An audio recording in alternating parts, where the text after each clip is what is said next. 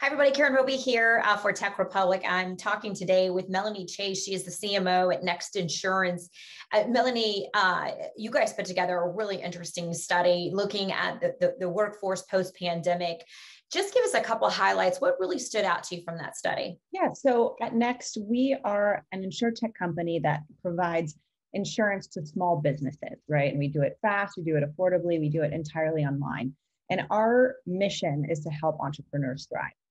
So, coming out of this pandemic period, we wanted to do a study on how small businesses were feeling, how they were thinking, what they needed in this post pandemic world.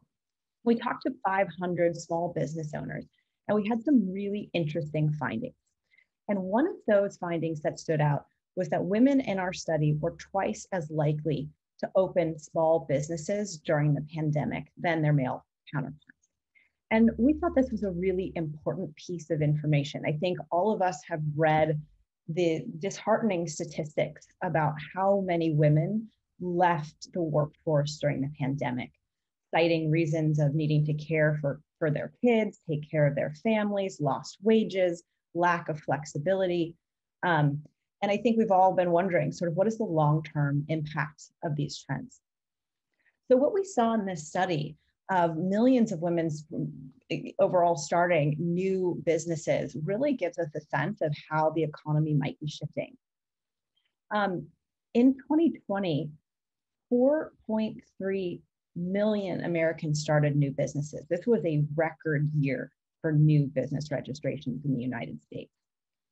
And if we think about that in terms of how many of those new businesses are coming from women, um, we can imagine a world where maybe the access to a flexible work life balance um, can come from the individual themselves, can come from women who want to create their own path forward. And I think that's the silver lining here, Melanie, is uh, it's actually the opposite of what you think it would be, I, I think, following a, a pandemic. Uh, but it sounds like just women saying, okay, this is my time, this is my opportunity to, uh, you know, possibly put together a, a better work life balance. Yeah, I think when we ask people why they started small businesses, you know, the number one reason is always to follow a passion or to be my own boss. But what we did see was that women were four times more likely to say flexibility was the number one reason that they wanted to start their own business. And Melanie, when you guys did this study, did you look at a specific uh, industries uh, heavily weighted in tech, I would assume? So we did look um, at what types of businesses were being started. And, and when we looked across men and women, there were a lot of similarities. There was a lot of professional services businesses starting, a lot of retail and e-commerce, some childcare and education businesses being started. But what we found among women is that they were very digitally focused. Um, they also often tended to start their businesses alone.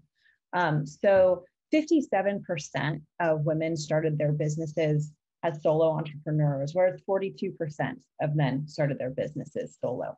Um, women were also more likely to start from scratch. We saw men buying into businesses, for example.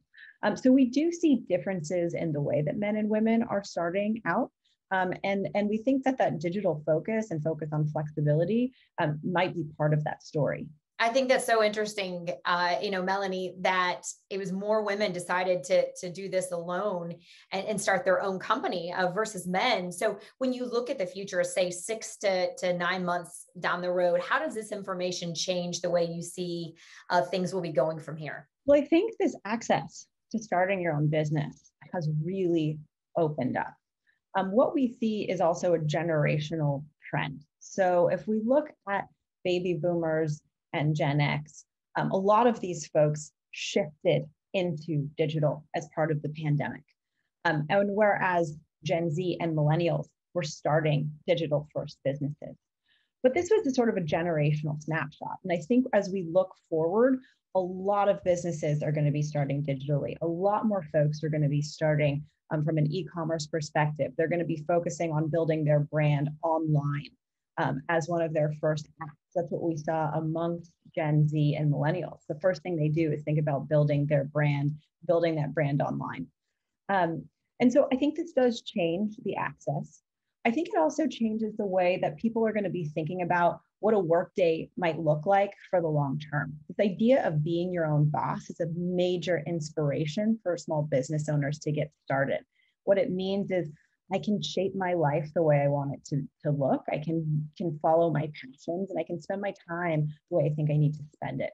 Um, and we think this is going to become more and more an expectation of, of uh, people who work in, in the United States. Yeah, that's some uh, good news, uh, especially for women, Melanie. I think that can be the silver lining that we can that we can look for going forward. All right, Melanie Chase again with Next Insurance. Thanks so much for being with me. Uh, and for much more on this study and uh, some of those figures that Melanie was talking about, that can all be found on our website uh, attached to this story. Uh, we have a link there, also a link there to a checklist uh, that Next Insurance put together to help people in that first year, things that they need to be uh, taking advantage of, some resources there. So make sure you check all of that out again on TechRepublic. Thanks for watching.